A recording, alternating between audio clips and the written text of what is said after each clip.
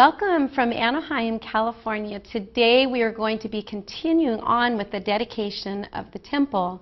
And as I was sitting here, I was thinking of all the beautiful places that we can go for retreats with sisters and brothers in Christ. Within just an hour, I could be in the mountains skiing.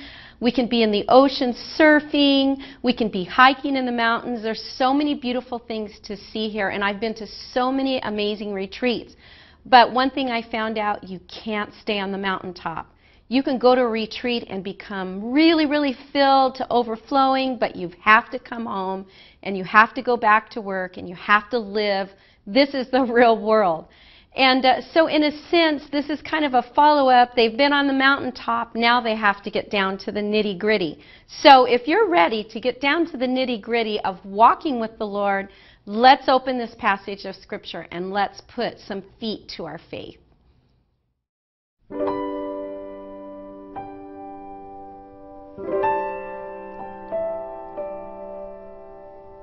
1 Kings chapter 9 verses 1 through 9.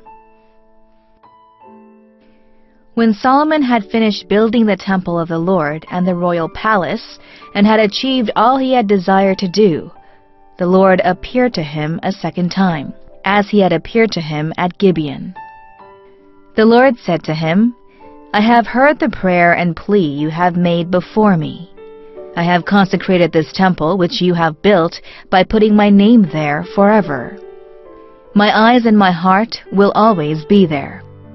As for you, if you walk before me in integrity of heart and uprightness, as David your father did, and do all I command and observe my decrees and laws, I will establish your royal throne over Israel forever, as I promised David your father when I said, You shall never fail to have a man on the throne of Israel.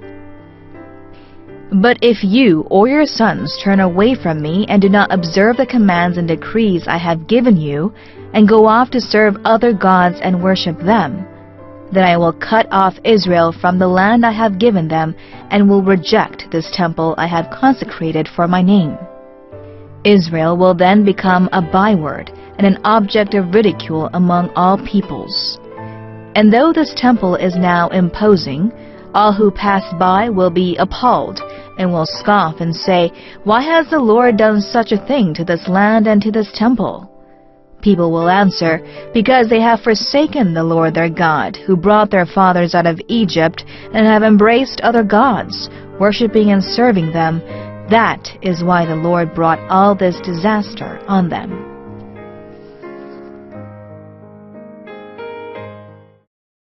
Now, I'm the type of person that I have to fin finish one task before I go to another. Like, I have to finish washing the dishes before I start sweeping, or I have to finish studying to teach something before I start practicing a piece on the piano. I'm just like that. And I think Solomon was kind of like that because it says he had finished the temple of the Lord. So we see Solomon is somebody that finishes what he starts. And I give him credit because it says that he had achieved all he had desired to do. That's a good prayer, isn't it? Lord, help me to achieve all that I desire to do. And we know that when we put our hope and our faith in the Lord, that He helps us finish those things that He puts on our heart to do, especially in ministry, even though sometimes things get hard. It's His work, it's not our work. And a few months ago, the Lord really spoke to my husband and I about our work here at the Cornerstone is it's not what you can do for me, it's what I can do for you. Because we know that in Christ we can do all things.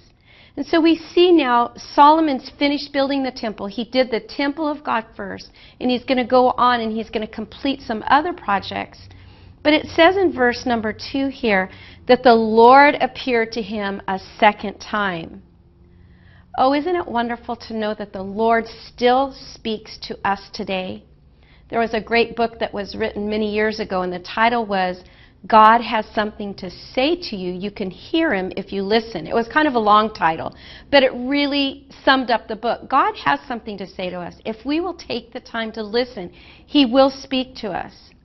But this time the Lord appears to him, and He tells them, Solomon, I heard your prayers. Remember, Solomon had prayed to the Lord, and he'd asked the Lord for some specific things. And it's Solomon, he's saying, Solomon, I heard your prayers. I heard the prayers that you had for the people, for them to be blessed, for the throne to remain um, ex- eternally. And, and he had all these prayers that he had prayed. And God says, I heard them, but there are conditions to these prayers. We know that God's blessings are ours, but there are prerequisites that he requires of us, not because God is a dictator, but because he ultimately knows the best way for us to live. He knows the best life for us to live. So he gives the Israelites conditions and he warns them. And he tells them that they are to walk before the Lord faithfully with integrity of heart and uprightness, as David your father did. Those are the conditions. And do all I command and observe my decrees and laws. You know, it's interesting when the Lord tells us, sometimes He'll tell us and instruct us in things, and we'll think, oh, that's nice, that's for someone else. You know, especially you hear a message in church, you know, and the pastor talks about, you know, uh, marriages, and you want to nudge your husband and say, oh, that's for you, that's for you. Or your kids, you know, don't provoke your parents to laugh. Yeah, that's to wrath. That's for you, kids, that's for you. But no, God speaks to us through His Word, and that's who we need to be focusing on, not everybody else. We don't need to be concerned about everybody else obeying God. We need to be concerned about us. And you know, here God knows Solomon's weaknesses. He knows the weaknesses of the children of Israel. And maybe at that point, oh, they're so excited. This project's been completed and they've seen God answer prayer and they're just on that mountaintop. But he knows that when real life comes, when day to day decisions come, we have to walk by this faith and obedience. And we need to listen to Him. And if we discount God's warnings, it always gets us in trouble. And we see that here. Solomon and the children of Israel again walk down that pattern that we're so used to observing in them. They walk with the Lord and then they begin getting carried away with wealth. They begin getting carried away with expansion of their lands and we see that their focus does not remain on the Lord, and it causes them to have a spiral downward turn. I think that as I was reading this and studying and meditating, I was thinking, what are the things that help us to stay focused on the Lord? And uh, what I know, notice in people that are very strong in the Lord, and some of the greatest leaders I have ever met, and I have had the privilege of being with some very well known leaders, is that they always have a tender heart towards God.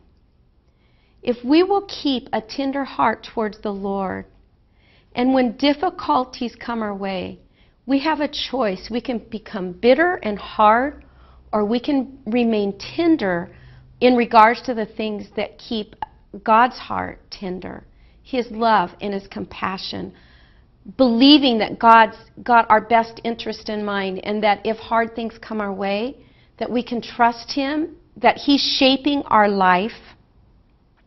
Dr. Ravi Zacharias writes in his book, The Grand Weaver, that we can live a life that allows us to be like God and to have a tender heart regarding the things that makes God's heart tender. And that's a great book. I'd encourage you to read it, The Grand Weaver. Then I think we need to keep a strong faith. It's really important, believers, that we stay in the Word of God and we build up our faith. It says that we overcome by the testimony of the brethren and by the blood of the Lamb.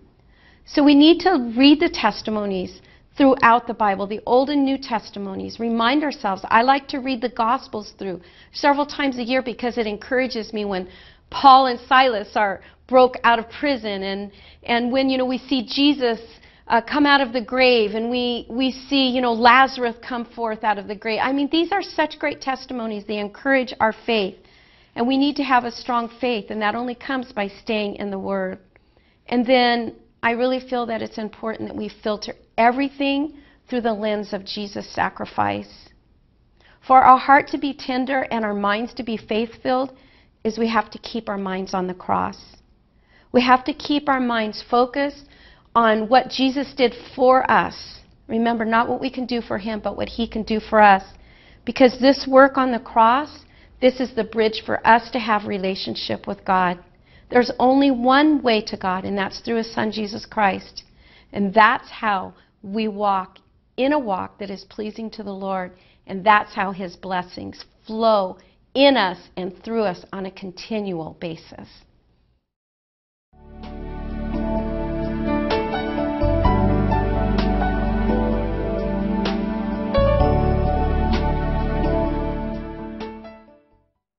Uh, my prayer today is going to be right out of Philippians that we can do all things through Christ who strengthens me. Do you need strength in your walk today? Do you have a place, an area in your walk where you need to put more uh, of God's power in there so that you are an overcomer? Would you pray with me?